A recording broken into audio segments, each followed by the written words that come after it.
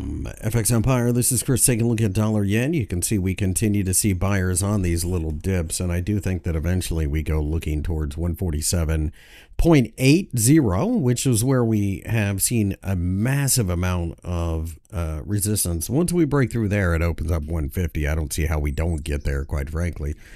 Ultimately, this is a scenario where the market will uh, continue to see value in dips. Bank of Japan doing everything it can to keep its uh, interest rates low, and therefore it's really, really bad for the currency. Uh, the Fed, on the other hand, is going to remain very uh, stable and steadfast in its tight monetary policy, and therefore I just look at dips as value.